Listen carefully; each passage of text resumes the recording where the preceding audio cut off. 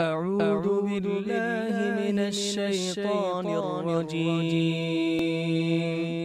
بسم الله الرحمن الرحيم.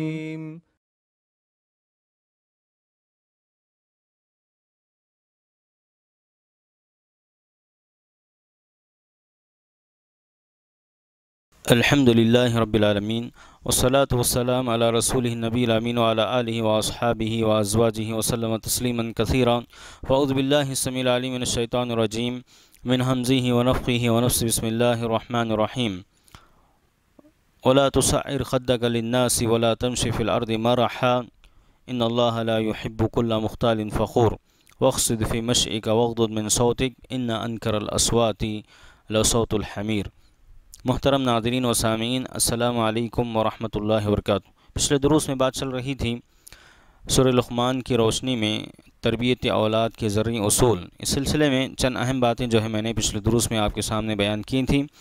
آج کا جو ہمارا اسی سلسلے میں جو ہے یہ درس ہے اور یہ آخری پارٹ ہوگا۔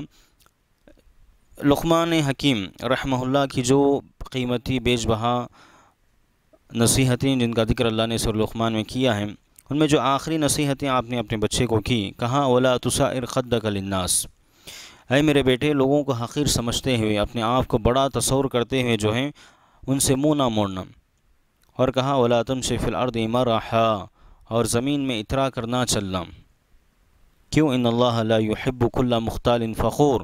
کہا کہ یقیناً اللہ رب العالمین تکبر کرنے والے اور فخر کرنے والے شخص کو پسند نہیں کرتا۔ پھر آگے کہا وقصد فی مشرق۔ چلنے میں کہا میانہ روی اختیار کرو۔ اور کہا وغد من صوتک اپنی آواز کو پست رکھا کرو۔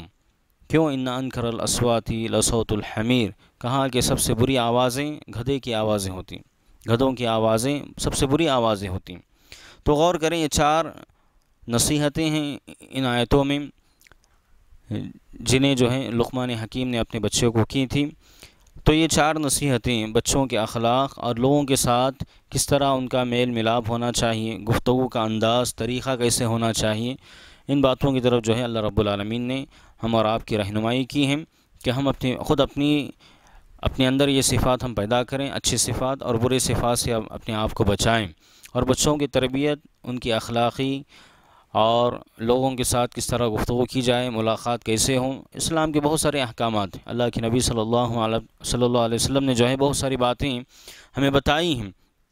سب سے پہلی جو نصیحت یہاں پر کی گئی، لوگوں کو حقیر نہیں سمجھنا چاہیے حقیر سمجھتے ان سے منہ نہیں موڑنا چاہیے یہ کبر ہے، تکبر ہے، جسے اللہ کے نبی ساس منع کیا اور کہا والکبر بطر الحقی و غمت الناس۔ کہا کہ حق بات تکبر یہ ہے، حقیقی تکبر صحیح مسلم کی روایت جس میں اللہ کے نبی صلی اللہ علیہ وسلم نے کہا کہ حقیقی تکبر یہ ہے کہ انسان حق بات کو ٹھکرا دے، حق بات کو جھٹلا دے، حق بات کا انکار کریں اور لوگوں کو جو ہے حقیر سمجھے۔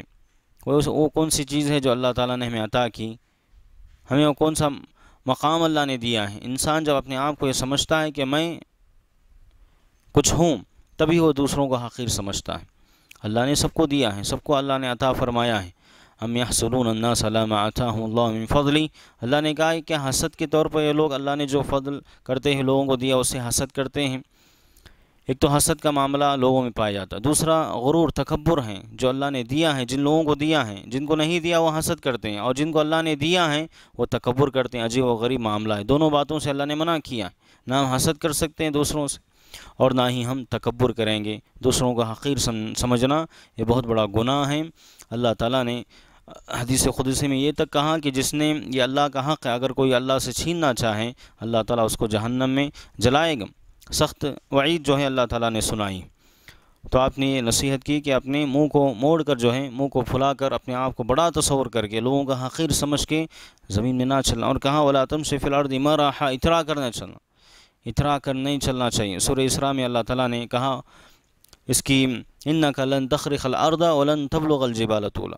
کہ انسان اترا کر چلے گا تو نہ زمین کو پھاڑ سکتا ہے، نہ پہاڑ کی بلندیوں کو پہنچ سکتا ہے۔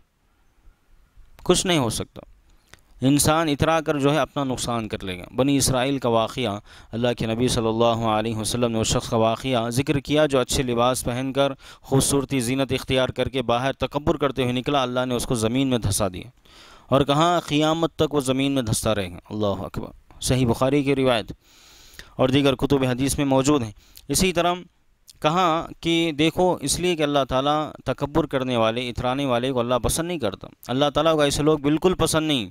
یہ ابلیس ہیں، ابلیس جس نے تکبر کیا یہ ابلیس کی صفت ہے اور اس کے جو بھی نقش قدم پر چلنے والوں کی یہ صفت ہے بری عادت ہے اللہ کو یہ ہرگز پسند نہیں ہے وقت فی مشع کا وقت من آگے کہاں چلنے میں جو ہے میانہ روی اختیار کیا جائے۔ میانہ روی، اللہ کے نبی صلی اللہ علیہ وسلم کے چلنے کی جو صفات، اللہ کے نبی کے جو صفات بتائے گئے خاص چلنے کی، نہ بالکل زیادہ تیز، نہ بالکل آہستہ درمیانی اعتدال اللہ کے نبی صلی اللہ علیہ وسلم کو پسند تھا۔ تو اس کا ہمیں حکم دیا گیا اور اس بات کا بھی ہمیں جو ہے حکم دیا گیا وغدد من صوتک وغدد من صوتک کہاں کہ آواز کو ہم پست رکھیں۔ آواز کو پست رکھا جائے، چیخنا، چلانا۔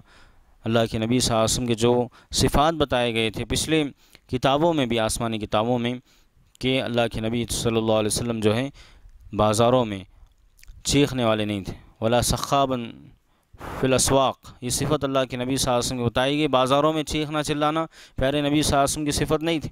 اللہ کے نبی صلی اللہ علیہ وسلم نے صحابہ کی تربیت بھی بہترین انداز میں کی اور پوری امت کو اللہ کے نبی صلی اللہ علیہ وسلم نے جو درس دیا وہ یہ کہ ہم آواز کو پست رکھیں۔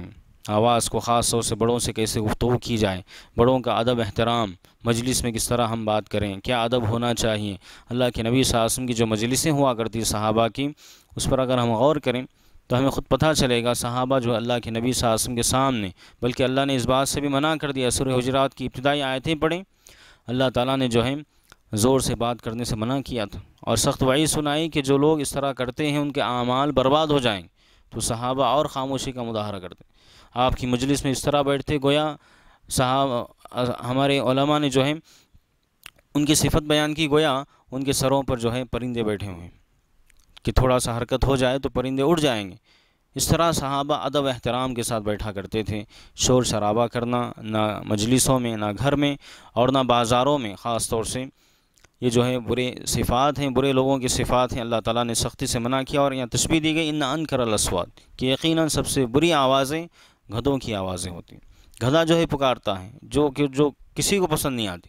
تو اس طرح جو لوگ چیختے ہیں، چلاتے ہیں وہ اچھے اخلاق کا مظاہرہ نہیں کرتے، برے اخلاق ان کے اندر پائے جاتے ہیں۔ اس سے بچنا چاہیے تو بہترین جو ہے نصیحتیں ہیں، ہمیں خود چاہیے کہ ہم بحیثیت ذمہ دار، بحیثیت نگران، بحیثیت والدین سرپرست، ہم خود یہ اچھی صفات جس کا ذکر اللہ نے کیا ہے، ان اچھی صفات کو ہم اپنائیں اور جو بری صفات جن سے اللہ تعالیٰ نے منع کیا، پیارے نبی صلی اللہ علیہ وسلم منع کیا ہے ہم اس سے خود بچیں اور اپنے بچوں کو، اپنی نسل کی جو تربیت، ان ذرعی اصول کو اپناتے ہوئے ان کی صحیح تربیت کریں۔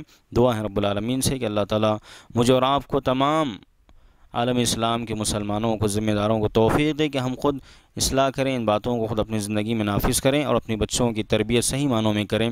اللہ ہمیں اس کی سعادت نصیب فرمائیں آمین سم آمین۔ وما علینا الا البلاغ المبین۔ السلام علیکم ورحمۃ اللہ وبرکاتہ۔